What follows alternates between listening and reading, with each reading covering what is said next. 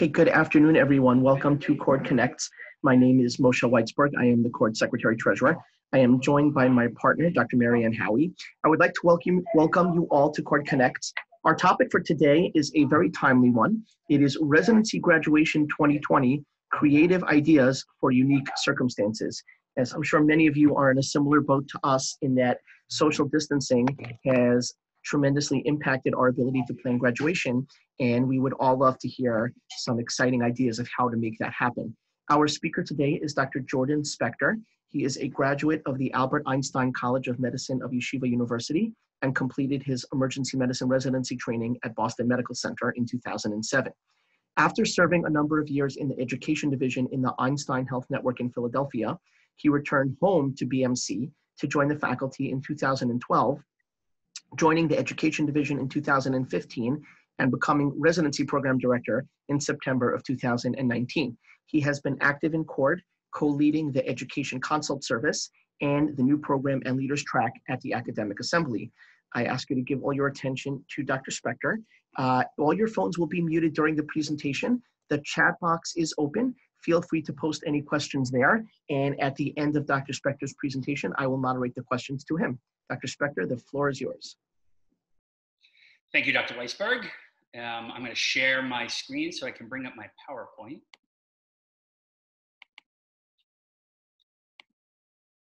And hopefully that works. Everybody can see. Um, I will wait to hear if you can't um, or if I lose signal. So thank you, everyone. Um, look.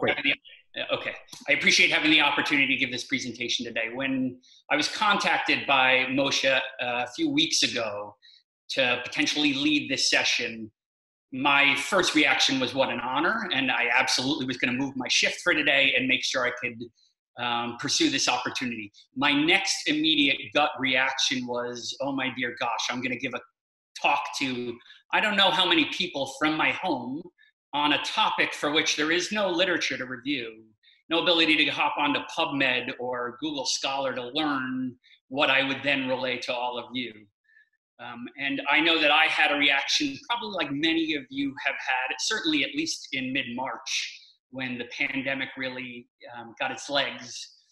And we were all confronted with uh, the social distancing laws that I didn't know what I could possibly do. And as I thought about this uh, session today, I envisioned something that was either four or five seconds long. Use Zoom. Any questions? I really couldn't think of anything beyond that at first blush.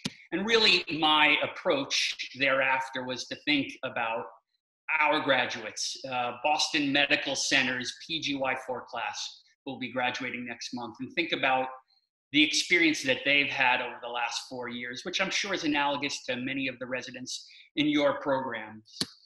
You know, arriving on that first day in July of intern year and doing that patient evaluation on that sort of common banal complaint back pain. We all see a ton of back pain. And the patient says, I took 400 milligrams of ibuprofen an hour ago and it still hurts and I'm here. And that intern goes and presents to the senior or the attending. Um, and the attending's like, why not just give a dose of IM ketorolac? And that intern immediately thinks two doses of NSAIDs? I'm going to cause kidney failure, right? All these sort of little decisions that for all of us, once we've completed training or at least been more senior, don't give a moment's thought are really um, stressful for the junior learner. And as my classes graduates progressed, and they get some opportunity to participate in the trauma room, and then have a role, and then actually lead a trauma. That first occasion when you see a patient who's out of control, and gosh forbid, takes a swing at a staff member, that first occasion where you call surgery before the CT has resulted and you get that incredible Hulk level anger response. How dare you call me when you don't have CT result yet? As they get more senior and learn to run the place a bit and realize just how many interruptions they encounter, or the successes, you know, finishing your last ICU block, or finally getting good feedback from that stickler of an attending with whom you work. I think it all makes for an extraordinary roller coaster of an experience over the course of three or four years. And we would really be doing a disservice to our learners if we did nothing more than said, here's a Zoom session. Um, and just a live feed, uh, that which we're doing for our weekday didactics once a week. And that really it's incumbent upon us to think about how important an event this is for our learners um, and honor the magnitude of the accomplishment as best we can given these extraordinary and unique circumstances. So in my reading and preparation, I did stumble into this article. It's over 30 years old or so from the Annals of Internal Medicine. And it speaks, I think, to a sentiment that um, is pertinent here. Um, and it's about medical school graduation, but I think it applies. The agony and ecstasy of the preceding four years needed to find expression. There was a felt need for the students to regroup and rededicate themselves before going on. Commencement was a ceremony of recognition and reward, acknowledging the completion of requirements with shouts of joy and relief. But there was another aspect the seniors needed to express. These feelings called for a setting where appropriate behavior is more solemn, thoughtful, where the appropriate attitude is one of humility and dedication in the face of the awesome responsibility about to be assumed.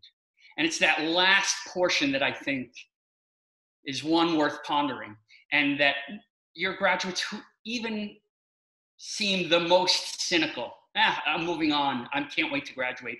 Or those who feel like uh, COVID has totally destroyed anything we're doing and I don't care anymore. I would submit to you that even those learners, as they approach that finish line of graduation, are aware of the magnitude of the moment, are aware that they're crossing perhaps the last finish line in what can be more than a decade of training. And that we owe it to them as program directors to do something, anything beyond an hour on a Zoom call. And so, what I hope to talk to you about in the next hour, probably be closer to 40 minutes, is some rationale to try to be creative. Um, and that which I've already spoken about this idea of communicating to your learners that this matters, this is important. And though the world has dealt us a bad card here, I'm going to try my best to demonstrate something significant for this accomplishment. And I'm going to go through a couple of ways to come up with a, an event that is worthy and safe um, I don't want to gloss over the fact that every one of us know as program directors that we have a responsibility for keeping both the graduates and our colleagues and any loved ones who are included safe from a very dangerous and highly infectious illness. Um, and I think in order to do that, you need to know what's permissible where you are, what state you live in. I'm going to emphasize the value of getting outside if po- in any way possible of um, keeping your group small and using a digital service um, to live stream the events and include that larger community that have been included in all those years previously. I'll spend a couple of minutes talking about some gifts or mementos you may choose, some digital options as well that I learned about in my research for this session. I'll talk about a few bigger ideas for those who have a few more resources at their disposal renting equipment, renting facilities. And then I'm going to conclude with some suggestions that were provided to me on the listserv when I put out a call for help earlier this month. Um, I want to be very clear. I have no disclosures whatsoever. I don't know how to relay some of the options that exist for you without using proper names for facilities or companies. I got no skin in the game. These are all just interesting ideas, um, and I hope they come across as such. So first and foremost, what can you do? Um, I have included at the bottom of this page a URL that I think you all should be familiar with, assisting businesses with evolving COVID-19 rules and regulations. And um, I took a representative, representative image off the website um, I had thought about toggling back and forth before the website, but I thought it would be clunky in this format. So I've just shown you a picture here, but if each of you hop on that web page, scroll over the state where your program resides, you can get hyperlinked to the most up-to-date rules in your region.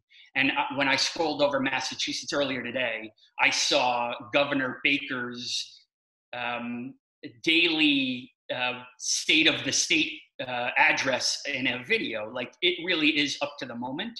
And I would strongly suggest that you put this uh, website in your bookmark. And as you more closely approach whenever your graduation session is, making sure that whatever you're doing is up to date with all these changing regulations. And as I mentioned earlier, I think getting outside is a way to really assuage concerns that experts are pretty clear that when you are confined indoors, in ventilate, indoor ventilation systems, when they are surrounded by walls and a ceiling, the infection risk goes up.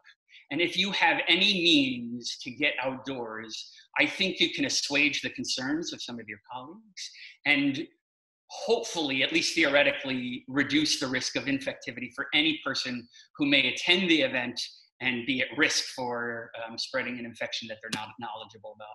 And so I highlight the great outdoors here. This is a bad 80s comedy, but I want the sentiment to come across. And many of you may have either observed or participated in some of these events that have taken place over the last few months. You can see a, a, a representative wedding event with um, groups of attendees spaced um, and in the lower left, you can see you can actually get super technical and make sure that every single family unit is at an individual table, spaced at least six feet apart. And being outdoors obviously reduces risk, um, may increase some uh, flexible space that you might be able to use. We all know that any event doesn't feel special unless you're fed and brought a few beverages. And it is possible to do that in line with social distancing.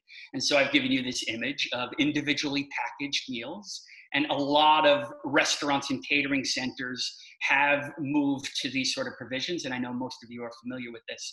And I think at minimum, if in fact you take what was your originally planned event and move it to an outdoor space which is accessible and provide this food, some masks, some copious access to hand sanitizers.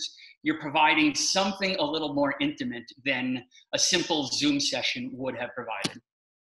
Now, I know for many of you, envisioning this session will include a smaller group and that there are other people who would be interested in attending. And Zoom does seem to be the best way to accomplish that. There are a few other services available, but I think Zoom has taken over the world in many ways here. And I wanted to at least talk to you about some considerations in planning, especially for an outdoor event. So if you're outdoor and trying to use computer service, right, you need to make sure you have sufficiently strong Wi-Fi signal. Seems redundant, but I would strongly advocate for you to practice in the day preceding your event, making sure that it works, making sure there are no dead spots, and if there are, that you set up far away from that area. If in fact you have colleagues who will be contributing to the session via Zoom and won't be present in person, make sure that they have the same strong signal. If there's any concern in any way that your colleague's weak signal in some distant location will undermine your event, have them pre-record the content. For example, if you have a director of your research division who wants to give the research award to the graduate who deserves that, have them pre-record that video in advance. They distribute it to you in advance, and then you can play that video. That same faculty member can follow along via Zoom, but you don't run the risk of their spotty signal undermining sort of the sequence or the uh, seamlessness of your event.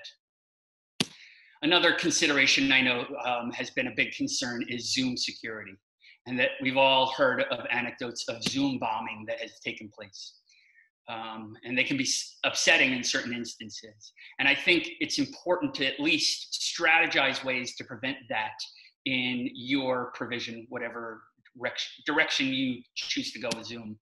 And so, um, what I first want to relay is you should um, be sure that your computer has the most recent Zoom update, that they've improved their security features. And many of us have become familiar with Zoom. I imagine you have to be in order to get onto this session. Um, and you're probably familiar with this page that's to the right of your screen. And for those of you who set up a meeting and you schedule a meeting and you push that button, you may not be aware that that meeting ID has two options. You can either have your own personal meeting ID, which I've blocked out here, or generate one automatically. And the reason I blocked out that one here is it's mine. It's Jordan Spector's meeting ID. And for every session I've set up under that ID, it's the same exact number. So if I've set up my weekly didactics, my monthly education division under my personal meeting ID number, then I plan to do graduation under that same number. Anybody who's had access to that number previously now has access to your graduation event. If you generate one automatically, you obviate any of that possibility of that number being out there and hopped on by somebody that you might not have invited. Furthermore, you can require a password and you put in whatever password you'd like. And if you do choose to do that, and I would suggest you consider it, think of a password that works for you that you're going to distribute in the hour or two prior to the event. Don't have that information out there. You can enable the waiting room. This may be familiar to some, less familiar to others. The waiting room is sort of a virtual antechamber. CORD just used it right here for this session. Um, and if you are running your department session as PD, you might consider recruiting a coordinator, an APD, as a confederate to watch over the waiting room. And then you can be sure of every individual entering your session. And then once you start the session, there are a couple things you can do lock the meeting. So you, we all are familiar with this lower ribbon. If you click on that security button, um, you bring up a, a drop up menu, I guess you'd call that, a bring up menu, um, where you click lock meeting. Um, and once that's clicked, no other person can enter the meeting. In addition, under the share screen, if you click that little mini uh, triangle to the right of share screen, you bring up the advanced sharing options and can stipulate that you as the host are the only one who can share a screen and make sure that somebody doesn't inadvertently or intentionally share an image that you wouldn't want shared with your group. If in fact you have colleagues who are going to share images and will be remote, I might consider making sure that you have access to those images as the host, and then you can share it for your screen, despite the fact that your colleague is presenting on that uh, particular piece of information. So make sure you know how to use Zoom correctly and keep your program safe. Now, I'm sure many of you who are watching are in an urban center or don't have access to any outdoor uh, outside space. And therefore, some of the suggestions I've already provided may be a little bit more challenging for you. And then I'm just going to run through some other ideas that I've come across. I am hopeful that as I run through some of these, I'm sure some will seem silly. I hope others feel like might be a good idea. And again, all under the heading of you as program director have gone out of your way to try to make the best of a tough situation. So the car parade, we've all seen them at this point. Probably many of you have participated in them. Um, some of you might feel like, oh, it's trite that, you know, three months of doing this. I've seen a bunch of them. I will tell you, I was just in a car parade this week, one of my daughter's friends' birthday. Um, and there were maybe a dozen cars that went through, and that birthday boy was smiling from ear to ear. The fact that it had happened, I don't know how many times previously in our country, didn't diminish from the experience for this birthday boy. And if you can gather a dozen cars, 15 cars amongst nurses, junior residents, fellow faculty, and have them travel from resident home to resident home, festooned with balloons or signs. Maybe you can even put something that says, Congratulations to graduate X and congratulations to graduate Y on each of the individual cars. Um, that could be meaningful. I, I, I guarantee your residents won't soon forget that moment. Some of you may have close affiliations with your pre hospital EMS systems, and they may lend you a truck for an hour or two. And you can imagine a truck covered in balloons or holiday lights might, in fact, um, elicit some pretty big smiles from your graduates as they see them parading through their community. And don't just drive by, drop off some gifts, some swag. And these are going to be some ideas many of you probably already thought of custom t shirts, custom candy you can actually order m&ms that say congratulations to the bmc class of 2020 or you can buy m&ms with a picture of your hospital's logo on them for a fairly reasonable price. So you get a couple bags of candy and some other food and gifts and trinket and put it in a custom drive-by bag so that every graduate gets a little sort of care package. A big box of popcorn right?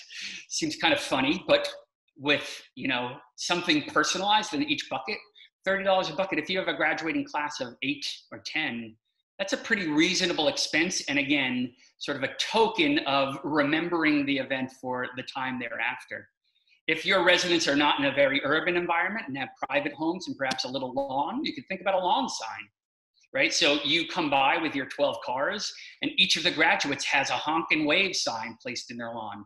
For anybody who's feeling kind of silly or super eccentric, a face of each of your graduates planted in each of the lawns. Um, I'm not sure how I would feel if my face was put up in my lawn, but again, I think that graduate would be like, oh my goodness, that's funny. Um, and I appreciate that my program director went to that length. May not be a good fit for everybody, but worth considering. I think many of us are familiar with the card that we passed around on special occasions, the birthday card or the condolences card. Um, and you know, there is certainly some sentiment that's conveyed when every one of your community members signs it and writes a little anecdote, but not really practical for a graduation ceremony where you may have 10, 15, 20 graduates from your class. Um, and I'd like you to be aware that there are some digital options. So thank you to my colleague who told me about Kudoboard. And this is a, a representative image of the one that I've started to put together for my residency group. Um, so Kudoboard is one of a number of services that are out there that allow you to create a bulletin board of missives as well as pictures and videos that will scroll through. So this is sort of the left to right scan of the screen image and can scroll down for as many images as you um, choose to put in the Kudoboard.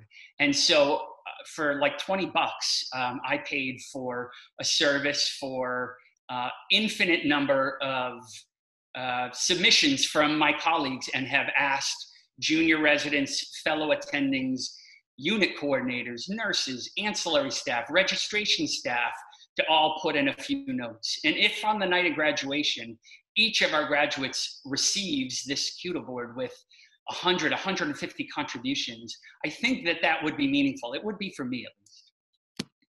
If you're interested in seeing what's out there, here are a number of other services that I found. I didn't dig too deeply on all of these, but just know that the Kudoboard is one of a number of options that you might consider if you're looking for a nice digital uh, thank you acknowledgement for all of your graduates. Cameo. Cameo is probably familiar to some of you. Um, it's another service that's gotten quite big during the pandemic and social distancing. If you're not familiar, it's a service that enlists the help of famous people, and I'm going to use finger quotes there, um, where you can pay anywhere from 50 up to a couple hundred dollars to have a particular individual recite some five, six, eight minute message that is personalized to you or to your group. And so, if you're a big fan of stand up comedy, you could consider paying for Gilbert Gottfried to do a missive just for your group. Turn the volume down on that one. If you're a fan of the Wonder Years in the olden days, probably not many of our current residents remember. Um, if you're from Wisconsin and Brett Favre would be a meaningful cameo appearance, pay a couple hundred bucks and he will speak specifically to your program X in Wisconsin. The Soup Nazi. And I did see just yesterday that Mike Tyson is another uh, person on Cameo if you're a boxing fan or like the movie Hangover. So that is uh, an opportunity for you to submit a video that seems sort of significant and unique for your graduates to relay at the time of your graduation. And I do have a few colleagues who are working on these sort of efforts at large. My former resident and friend, Kathy Kopek at Carolinas Medical Center, and my very good friend and role model, Leslie Oyama, hey Leslie, um, is putting together this effort to accumulate a number of videos um, that we can all put together and share in a broader community allow each of us to do a congratulations to one another and splice them together. And then anyone who's participating will have access to this video to show on graduation night, another event that feels unique and not like something that they've seen in previous years. I would be remiss if I didn't remind you of the ALiEM program scheduled for mid-June, June 15th specifically. Um, Esther Choo, Mel Herbert, and Amal Mattu are three of the headlining speakers. I think of this as an analog to the event that was hosted earlier this month, um, where President Obama, former President Obama, was highlighted. Um, sort of a gra- uh, uh, congratulations to all the graduates across the country, and they are um, promising some other surprise celebrities. Um, and we need to wait till June 15th to see who they are. But you might, in creating a graduation week or a graduation month, have your graduates gather in obviously uh, quarantine permissible numbers to watch this event and sort of celebrate alongside the ALiEM crew who put out so much wonderful content. Are you thinking bigger? You have some resources that perhaps some other programs don't have. You had an event canceled and had a sum of money refunded to you that you weren't anticipating. There's some ways to think big. This is, you can see this is a posting just from two days ago. The hottest ticket in town amidst the pandemic, drive in movie theaters are coming back.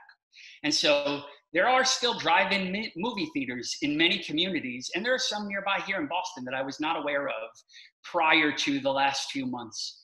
And I can't help but think of that awesome scenario that Dr. Weizberg said his daughter will be participating in in her high school graduation a uh, drive-in movie theater that has been rented specifically for a graduation event everyone socially distancing in their individual vehicles the officiant be it the principal or whoever's the mc at the front projected image on the movie screen and each graduate rather than coming and walking across the stage will drive in their car around the front of the drive-in theater to receive all of their diplomas definitely unique um, definitely a bit outside the box. Um, and another way for you to do something that really would feel sort of special for your graduates. Don't have a drive-in theater nearby? You can rent a theater or you can rent the equipment.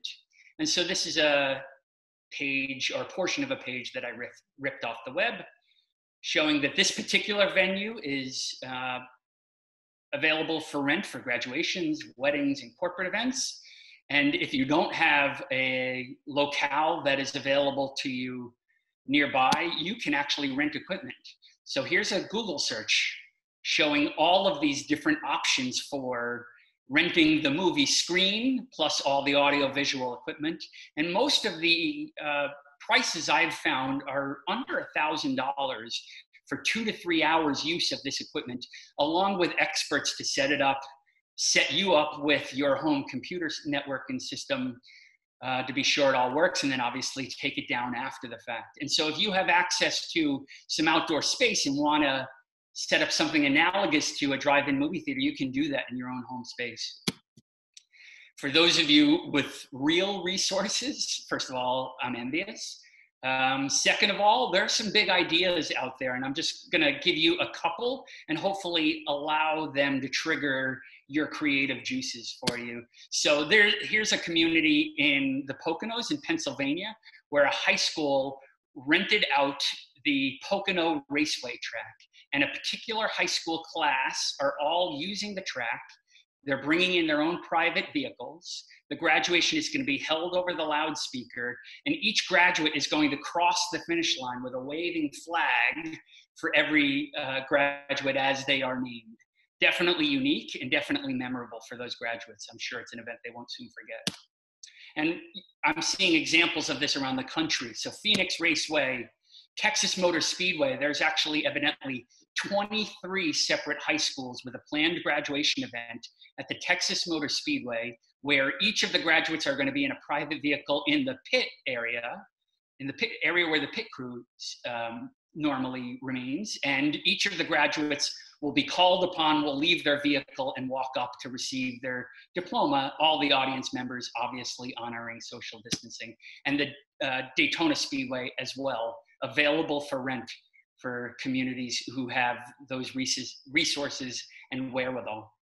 So if you are in an academic facility where you're affiliated with an undergraduate uh, school, well, you might consider, do they have any outdoor facilities that are sitting and not currently in use. Um, and if they do, they're suffering through this pandemic and the associated financial troubles like the rest of us. And you might be able to get a deal to use one of those outdoor spaces in really creative ways for a price that you wouldn't have got under other circumstances.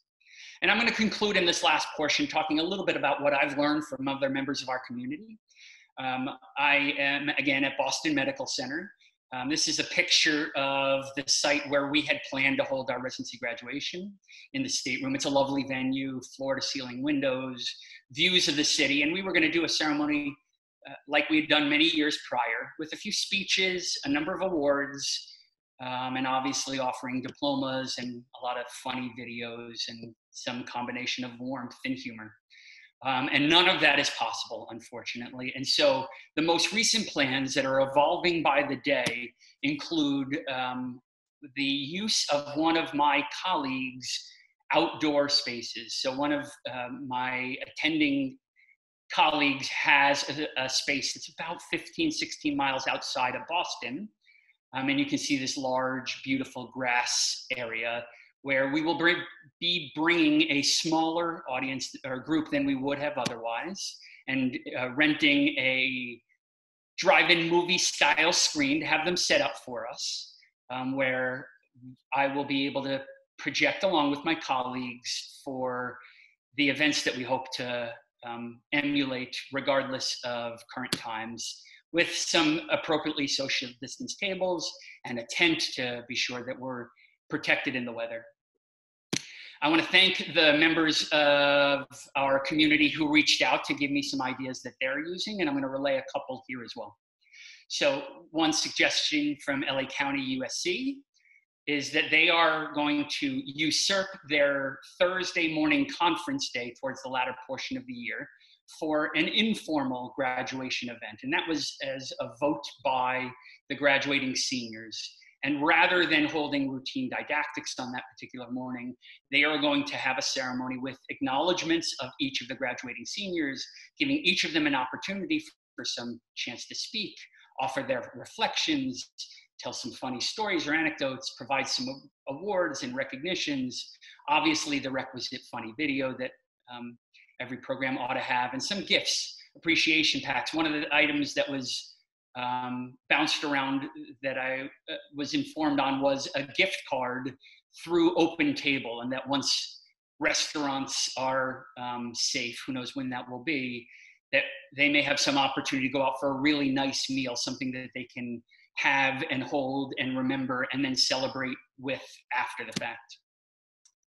Thank you to Dr. McVeigh for reaching out to tell me that her event is normally over 150 people, but they've had to obviously downsize significantly and are hoping to hold an event in the barn of one of their fact neighboring or one of their community faculty members, and we'll do small catered box food with some plans to project the ceremony to a larger group and um, in an effort to stay below the state guidelines, which as of now are 50 people or less the graduates are able to bring one um, significant other or whoever, whomever they choose, some residency leadership and select other faculty, and everyone else will, will be watching remotely. Thank you to Dr. Archer for chiming in. Memorial Health System has the good fortune of having five graduates this year, so much less pressure against the uh, quarantine rules. And so she is planning to host a dinner with appropriate social distancing with herself, two faculty members, one of whom is the CMO, and a live streaming Zoom feed with presentations by other colleagues, including the health system CEO. Dr. Archer, consider pre recording that if there's any concerns about Wi Fi signal interspersing different videos that are described as either heartwarming or funny. And her graduates wanted something informal, that if in fact they are to have this downsized event, they didn't want the jacket, suit, and tie, and as such requested an event in scrubs, which for me seems like a reasonable provision given all the disappointment that these graduates might otherwise be feeling. And finally, uh, Dr. Church and UMass did reach out to say they're doing something a bit different. They're going to do a bit of sort of a walkthrough at the hospital with a drive-by, enlisting the help of both Worcester pre-hospital services as well as Worcester Police Department. Um, and a little bit of pomp and circumstances those vehicles go past. And then the group is going to distribute into smaller, more socially distant groups where a Zoom ceremony slash roast will take place, um, obviously with some associated gifts and sundry items thereafter too. And so, in summary, I am hopeful that I have um, given you a few ideas that feel safe given these extraordinary times, um, and that going outside is a good way to accomplish that. That every one of us are going to use a digital feed of some sort or another, and making sure that you have that running to a T and have it sufficiently secure is um, imperative. And most of all, that no matter what you choose to do, any effort will be received by your learner as your acknowledgement of the importance of this event. So thank you very much. And available for questions. Hi, Jordan, thank you very much. Can you hear me okay? Yes, I can. Great. First of all, thank you so very much for that presentation. I'm really excited to see who is listed on the Cameo website that may be uh, an exciting thing to look through. Um, if anyone has any questions, feel free to post them in the chat section and I will moderate them and present them to Dr. Spector. Uh, so the first question we have is as follows. We are planning to have a small in-person event for our graduates, one guest, and a small group of faculty. Any thoughts on the best technology to use to try to make the experience live and virtual for other members of our department that can't physically be present? Yeah, an excellent question. You know, there are a few, we all mentioned Zoom, and I think what Zoom does provide is the ability for everyone's voice to be heard, um, for any audio visual um, elements that are included to be shared with that larger community. Um, and I know for many graduates, it's the funny videos that really make um, some of the a light-hearted experience all the more. Um, I, there are some other services available. I think many of you are familiar with Microsoft Teams and Google Hangouts, and they probably can be leveraged. That they have more, um, I believe, caps on the number of participants that can be involved. Um, I think it really is challenging for dis- physically distant people to participate in anything that is not um, digital. In other words, if you were to have sort of a in-person handing of an award, I don't know how you do that remotely. Um, if in fact you like to depict sort of the provision of that award, perhaps filming in advance, it doesn't quite have the same uh, bang for that buck. Uh, and again, uh, this is not a topic where I bring sort of true expertise, so I would love to hear other thoughts from this community.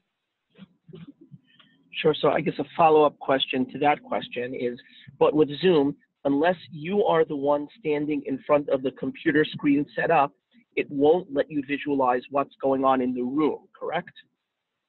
Yes, so you are definitely somewhat limited by the um, being right in that front space. Now, if in fact um, the concern is whether you be able to follow along on a screen. Then obviously you're seeing here a, a screen share permits both the obviously face and voice of the MC slash program director as well as whatever is projected, be it um, images or video. But if in fact there's sort of a larger physical space, the only way that I am familiar with is um, either twofold. One, obviously scanning back with the screen, and then everything is going to be off in the distance a bit in the image. Or two, in that it is possible to have obviously all of these uh, face images, um, live video taking place simultaneously. Um, and that it is also possible to use Zoom on a smartphone that you could potentially have other audience participants on the same Zoom call but directing their camera elsewhere. So you get a little bit of a broad image. It wouldn't be aligned across these various boxes, you know, sort of the Brady Bunch arrangement of all these boxes across your screen. Um, but you might be able to include a few other images live in that way. But again, open to other more creative folks who've um, encountered this problem. So we have a couple of uh, suggestions that are posted on the chat. One is you could potentially do a YouTube live video. And another post says, I am an APD and I plan on acting as a video cameraman using a gimbal I bought off of Amazon so it doesn't make the viewers dizzy. that would be great um, to share that particular product. Again, don't want to um, step on any sort of uh, copyright issues whatsoever, but I think that that is an interesting idea. And assuming then that that image would be what was projected on the screen that then that is then distributed, making sure I understand that. Yeah, I guess a you know certainly a economic way to do it is to just have somebody on their iPhone connected to the Zoom, and they can be the presenter or sharing their screen, so to speak, and have that person continually move their camera around the room to show what's going on in the room. Presumably, a more expensive option would be to have a professional camera person who can live stream what's going from their video camera. Uh, I know that technology exists. Uh, I'm assuming it's a little more pricey. Well received. Okay, uh, and Leslie Oyama posted the link for uh, if you have some famous folks who want to upload a shout out congrats video, we will share uploads with all. So that link is on the chat. It is https colon double slash bit dot ly slash er grads, and that's on the chat if anybody would like to see that. Uh, another suggestion we have is we use GoToMeeting for didactics and staff meetings. It's not great sound quality and limited lag time. Up to 250 attendees are possible. Also, healthcare, healthcare providers receive a discount. Yeah, are, are people struggling? I mean, I don't want to put all my eggs in the one basket. Um, I certainly spoke about the Zoom bombing. I really do like that Zoom affords the possibility of almost as many um, participants as you could hope for, um, and uh, uh, receptive to other sort of facilities as well. And another message says the app House Party is also like a fun version of Zoom for anyone who is tired of Zoom meetings. I love it. I, I don't know that I would be nearly as well qualified as my 15 and my 12 year old on House Party. Ask, ask, your kids because I know that it's popular in the middle and high school set. Uh, actually, one of my residents mentioned that to me as an option for some things also. So apparently, our current residents are using it. I, I, I, think there is a limit on how many people can participate, though. It may be worth looking into. Uh, another post says At Maryland, we will have a Zoom graduation and making party boxes for the graduates. They will have graduation decorations, swag gifts, the diploma and graduation plaque that we hand out, champagne, and confetti poppers. Yeah, I think that's great. I think that those graduates will absolutely feel like, whoa, champagne and all those other items, like really sort of, I would imagine that that's not routine every year. And I think part of that is your graduates feeling like, you know, because what people typically are able to celebrate can't happen in 2020, that these other provisions feel like some consolation and again that sentiment that is so important that i hope that they all receive which is that we're really proud of them and that we really want to honor the momentous occasion that is graduation this training so just as a follow-up to the last comment there was a post from someone else that house party has poor security so certainly look into that if you're going to use that, moda that modality. Another suggestion is you can also use two different programs for each item. For instance, a Zoom with SlideShare to see the slides, and a WebEx with video camera to see the room, audience, and speakers, people have to have two devices, of course. Yeah, I think that's great. I think probably it would be wise in follow up to this session for me to repost on the CORD website. Let's put together some ideas because I think probably since I um, put in that call for help about three or four weeks ago. And today, I'm sure many of you have sort of crystallized plans. Um, and I would like, I mean, the ultimate spirit of this, like so many wonderful things with CORD, is that there's so many of us out here trying to do our best by our learners. And we shouldn't be operating in insular from one another. Um, and in that many of you have been thinking of all these ideas, or maybe had some ideas Play with this section, um, I'd like to sort of reinvigorate the post on the website. Um, and then hopefully those of you who have had sort of your creative juices jogged can then chime in and continue to parlay some of these ideas to the broader community. That would be great. I'm sure that would be very useful. Uh, does anyone else have any other questions? Feel free to post them on the chat.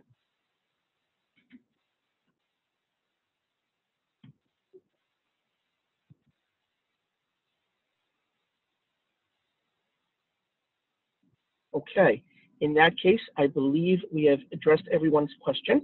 Uh, I'm sorry, there's one more post. Depending on your Zoom account level, you can live stream to YouTube. We will only give the Zoom code to our residents and faculty, but their extended family and friends can watch on live stream. Keeps the Zoom crowding more controlled. Oh, interesting. That's a great idea. Thank you for posting that. I want to offer a tremendous thank you to Dr. Jordan Spector for this wonderful presentation. I think this is something that is on all of our minds right now, and I'm, I am certain that we can take something from some of the wonderful ideas that he suggested and bring them back to our home institutions and provide our graduates with a graduation ceremony that will certainly be meaningful as we celebrate this milestone in their lives. I want to thank all of you for participating. It is a, always a pleasure to have everyone on. Uh, our next CORD Connects will be taking place the last week of June. Keep your eyes on your emails for those. And remember, this session will be posted on the CORD website. If anyone missed it or missed part of it or wants to review it, it will be available on the CORD website for everybody to watch. Everyone, please be safe and have a wonderful, wonderful day. Thanks, everyone. Thank you for coming. Thank you, Dr. Weizberg, for the opportunity. Thank you, Jordan. Thank you for doing it.